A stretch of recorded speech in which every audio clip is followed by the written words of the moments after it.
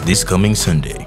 The Oracle of Shekinah, Apostle Miriam Kapanat welcomes you to this service, which is the double portion of the latter rain glory, part 2.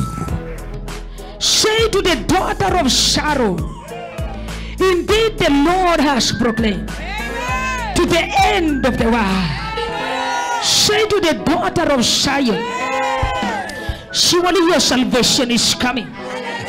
Behold, his reward is with him, and we shall walk before him. And they shall call them the holy people. Power must change hands. It's a new dawn, and we are going greater this remaining half year.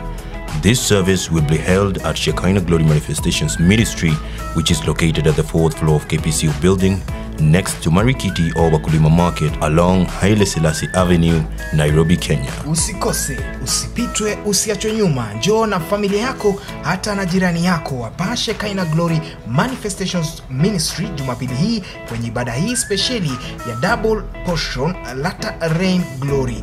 Kumbuka baraka zako ziko hapa maradufu. Njoo upokee kutoka kwake Mungu, na maisha yako ni lazima yabadilike, kwani it's a new dawn. It's going to be a powerful and prophetic service. Come ready to receive and hear the Rhema word through the servant of God. Hope to see you on Sunday for the double portion of the latter rain glory, part 2.